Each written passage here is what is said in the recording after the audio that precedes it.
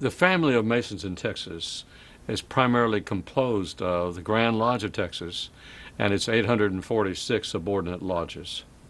Those 846 subordinate lodges are the homes for now approximately 90,000 Masons. The Masonic fraternity is unique. Only requires three things to be a Mason. You must have a belief in a supreme being. Now, you may call him God, you may call him Allah, you may call him Jesus, but that belief in that supreme being is absolutely necessary, or you're never permitted to be a Mason. So, the first cornerstone of Masonry is you must have a belief in a supreme being. The second is, and some people consider this to be the most difficult, you must be a man of good character.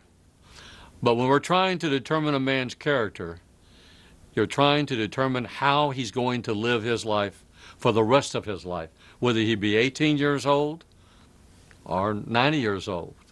Uh, we've had men that age join the fraternity. And you're trying to find how he has lived his life up to that moment. You visit his home, you meet his family, you, he refers you to other Masons that he has known, and you try to determine if he's a man of his word and his character is really there.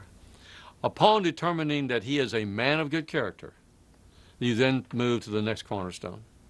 And the third cornerstone, and I consider one that distinguishes this fraternity from all other organizations around the world, knowing that this fraternity goes across every geographical and physical boundaries, oceans, mountains, borders.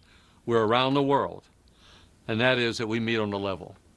Now, to me, that's something that has to be heartfelt. That's the first thing when a man tells me he's interested in being a Mason. I tell him about the Supreme Being, that he must profess his belief. I tell him that he must be a man of good character.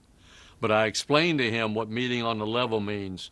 And what that means to me is that the moment that man petitions, and for the rest of his Masonic career, we judge his actions by his character, disregarding any kind of education, wealth, whatever, and judge him on his character.